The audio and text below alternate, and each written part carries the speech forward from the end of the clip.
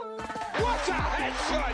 What a head! How's it guys, this is Dayvy FPL and welcome back to the Fantasy Premier League video here on my channel. Now in this video, I'm going to bring you guys the template free draft for the upcoming blank slash double game week 27. So yes, you heard that right. This is not in fact going to be my own FPL kind of free draft. This is going to be the team that I've seen basically everyone has over on Twitter, YouTube, Reddit, all that good stuff. So I wanted to create this video quite early on into this midweek just because game week 26 hasn't concluded yet, but I know there's a large proportion of you that have already activated the free chip and therefore want to catch those early price rises.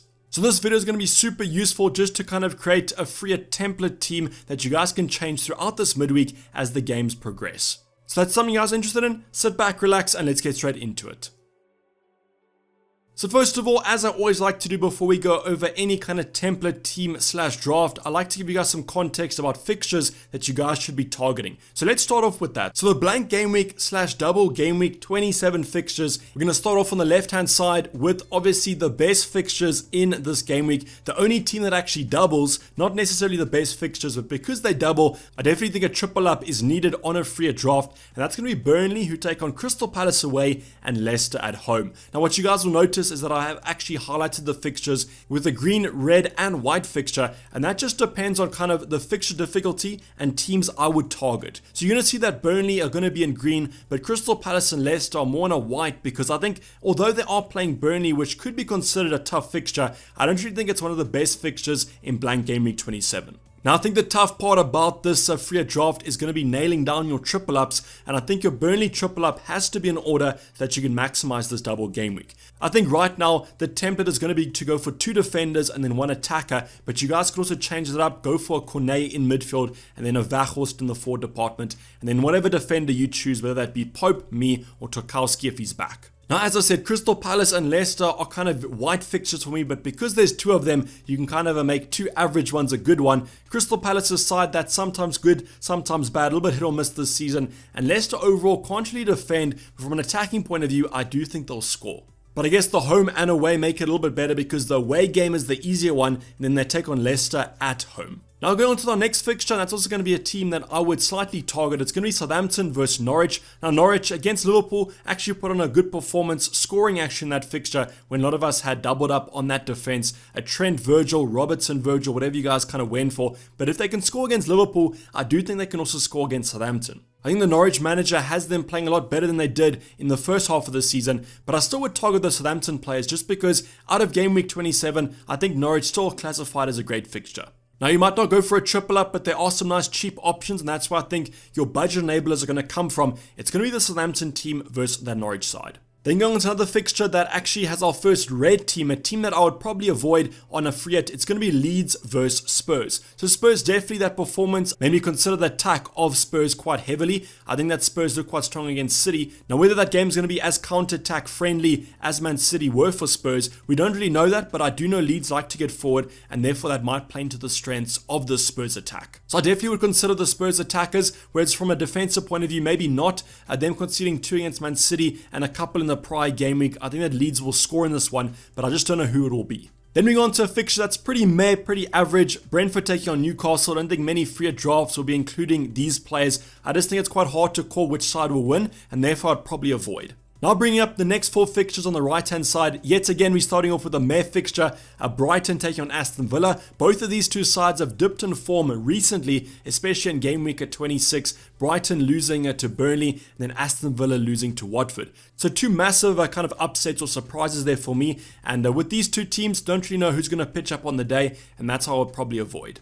But now we get back to some better fixtures. We've got United taking on Watford. Even though Watford under Hodgson have been actually defending pretty well, I do think I would still go for one or two United assets and maybe even a defender as well. Ismaila Sarr returning has made Dennis and King look like better options, and therefore you might be a little bit worried about your United clean sheet, but I do think there's enough chance of them getting a clean sheet for me to include them in my free draft. In terms of the Watford assets, United are conceding a few in the past couple of game weeks, but I still don't think I would stretch to them as there's better players in those positions. Everton versus Man City, yet another team that I would definitely avoid. I think you guys can agree with me on that. Not only is it the toughest fixture in the Prem at the moment, I do think Everton on terrible form, and I think they're four points above relegation. Now, this game could be an absolutely dire game. I mean, Everton could be stacking the box, kind of trying to get a point at home, but I do think I still favour Man City to get some returns, and therefore I would recommend a triple up. Man City, probably the best attack in the Prem and defense as well. So that's why I think a triple up is in order here. And I definitely will be which three to go for, as that will be quite a dilemma on a free hit. Finally, West Ham vs Wolves are probably a popular fixture for those of us who don't have a free hit or won't be using a free hit in Blank Gaming 27. I don't think this game is going to be touched by you free hitters, as it's just kind of hard to call. And even if it does go one side, I do think it'll be quite low scoring. So overall, you guys can kind of pause it uh, right now, maybe make your team, make your own a draft before seeing the template, and I will consist of Burnley, Southampton, Spurs, and then finally United and City players. So finally, let's go over this blank slash double game week 27 free hit template. Uh, the first thing I want to talk to you guys about is going to be the bench. So as you guys know on a free hit, you're always trying to pump as much money into that starting 11 as possible. So why this might not be the bench I would go for, let's talk about the cheapest bench that you could probably get. So since we're talking about finances and kind of going for cheap enablers, I want to tell you guys that this template team I could afford with 1.3 million. So if you guys can't afford it, you can maybe make some downgrades, but you probably will be able to maybe even make some massive upgrades. And I'll talk about those a little bit later on. But this bench that you're currently seeing on the video is not actually the cheapest bench that you guys can get. You could go for an Amartey over a Williams and that sort of thing. But what I've gone for here is I've gone for two Norwich players. Although they're playing Southampton, at least you have two options if they have to come off the bench, they have a fixture. So first of all, our second goalkeeper, Matthews from Crystal Palace. Never heard of him, unfortunately. I do apologize to you, Matthews. But uh, 3.9 million, one of the cheapest goalkeepers to kind of get. And Crystal Palace, you won't go for too many of their assets, so it's not threatening the triple up. The two defenders I've gone for, Tsimikas at 3.7, a super popular, if not the most popular option on a free just because he's the cheapest defender in the game at 3.7. And my second option, that's going to be Brandon Williams at 3.9. So I think Williams will play against Southampton and that's why I've opted for him here as if he does have to come off, at least he does have a fixture against Southampton. Same goes for Billy Gilmour at 4.3 million. He is however kind of the cheapest midfielder that you guys can get and that's why I would still recommend going for him.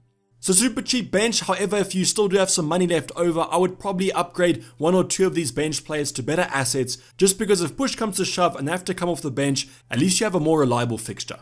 So first off, on our starting 11, let's talk about our goalkeeper, which pretty much picks himself. It's going to be Nick Pope uh, for Burnley with a double game against Crystal Palace away and Leicester at home. There are some other options that you guys can look at, but I personally do favour going for Pope in goal, as he has been racking up a couple clean sheets and save points over the prior game weeks. There's no restriction on money in terms of the goalkeeper, 5.4, middle of the range kind of asset to go for, and most of the other goalkeepers you'd want come in at the same price but don't have a double. We then go on to the template back three, which is going to be United, City, and then finally Burnley. You guys will see that I've actually favored the double up in the Burnley defense. I just really favor them from a defensive point of view. Although they scored three against Brighton on the weekend, I don't think they're the most free scoring side, and therefore I think the defense is better than their attack. You guys could argue with me on that one, but this is going to be the template. Basically, every free draft I've seen has the double up in defense, and it's also got these three defenders. The only variation you might see is in terms of Tarkowski, I have included him in this draft just because he is more expensive than Ben Mee, so in terms of price, no problem there. And I do think if both players are fit, just remember that Tarkowski did test positive in game week 26, but I am expecting to recover for game week 27, and that's why I think he's still a great option and better than Ben Mee. The fullbacks for Burnley a little bit uh, spicy. I think Pieters and Roberts in terms of those are two players, but there could be some rotation there, and that's why I think Tarkowski or Mee are where you guys should be going. I do think though the defender that you guys should have of your choice is going to be Cancelo at 7.1. Great fixture against Everton, and if you guys did watch the game against Spurs, he was getting in the box multiple amount of times, and he was also getting a few shots off. Against Everton, I really do think you have to back the Man City clean sheet. That's why I think Cancelo has that perfect rotation of attack versus defense. Our final defender to go for though is going to be Dalot or Delo from United. I spoke about Watford looking a little bit better with the Ismaila Sarr up front, but I still do think uh, the United clean sheet could be there, and that's why at 4.6 relatively fine to go for him. In terms of other options here, I do think Livramento was a popular option if you guys want to go for a different asset. I think against Norwich, Southampton have looked quite strong over these prior game weeks, so there could be a clean sheet there, but I still do favour United. Now going on to our midfield four, which I'm super hyped about. If you guys are going to be going for the template free at draft, I think all of these assets have the potential for massive points. We're going to start off with the most expensive player on the left, Bruno Fernandes at 11.7 currently, and I do think it's Watford. United look quite strong against Leeds, and therefore I think they should score a few against them. Bruno right now looks to be in great form. I kind of miss having him on my wildcard for double game week 26, uh, assisting and scoring a goal against Leeds, and I think that form will continue against Watford in blank game week 27. Heung-min Son, a player that I have included in my wildcard draft. Actually, I think Leeds is a great fixture, and in terms of the counter attack, I do think it favors Son over Kane, and that's why I think uh, he's definitely an asset that you guys should include in your midfield for your free draft. But now kind of comes the tough part about any free draft is going to be predicting which Man City players start. And I've opted for Mahrez and Foden. However, if you guys have the money, I would go for Mahrez and Sterling. I just think Foden right now might be a little bit out of form, and I do think Mahrez is 100% the player that you guys should bring in. Played about 20 minutes on the weekend against Spurs, and therefore I do think he's in line to start against Everton in blank game week 27, and he's the most informed player I think from a Man City point of view right now. Phil Foden's kind of the opposite, not really picking up that much form except for maybe in the Champions League. And that's why I think I would go for Sterling over him if you guys can afford it, but I couldn't. And that's why I think Phil Foden's a fine replacement. You just got to kind of hope that he starts. But I think as we go through this week, we will get more updates about Man City. Wait for the Pep press conference, and there will be some predictions up about that Man City lineup. And therefore, you guys can kind of pick and choose whichever midfielder or forward you like. But I do think for Man City, the one defender and two attackers is where it's at. The ceiling is a little bit higher in terms of a double defender and a one attacker, so that's why I would go for the more attacking personnel. But now finally going on to our last position, and it's going to be a starting three up front, a nice 3-4-3 formation going back to the FIFA days. We're going to start off with Harry here, like Heung-min Son, has that lovely Leeds fixture, and Spurs seem to have turned the form on against Man City at the perfect time. 12.2 is quite expensive, but without Trent, a Robertson, Salah, those sort of players, you guys can afford this quite easily, and that's how I would stretch that budget in the forward department to include Harry Kane. I think Harry Kane basically doubled his attacking output uh, in that Man City game, so looks to be on good form, I guess, for one game week. So hopefully that continues in game week 27. But our final two kind of forwards to go for are relatively a plug and play. We've got Weghorst from Burnley, the double game week best Burnley attacker to get at the current moment, and that's how I would recommend the tall Dutch uh, forward for Burnley, as I think that's the main attacking output. And at 6.5 million, relatively cheap, and you guys will be able to afford him. And it also provides a nice captaincy option with that double game week. Broja though, a little bit under the radar probably, but I think most wildcarders and freehitters will have him at 5.4 million, the main attacking outlet for Southampton, even though on the weekend didn't do that much uh, in that Southampton game. But I think against Norwich, he's going to get back onto that goal scoring of former things, and I do think at 5.4 an absolute steal. So yes guys, this is going to be the Game Week at 27 free template team. As I mentioned over on Twitter, basically everyone has this draft. And although you might not think it's that differential, I think using the free in Game Week 27 will be differential enough. Comment down below if you guys are going to be using the Freed, what your draft is. I can maybe use it as a little bit of inspiration when I do my own Freed draft later in the week. But this is basically wrap the video guys. Hopefully you did enjoy it. Please don't forget to like if you did and subscribe if you're not subscribed yet. I will be see you guys for more content this week, so make sure you keep those notifications on either on YouTube or on Twitter. But I'm signing off. It's been Dayvy FPL and I'm out. Cheers. Bye.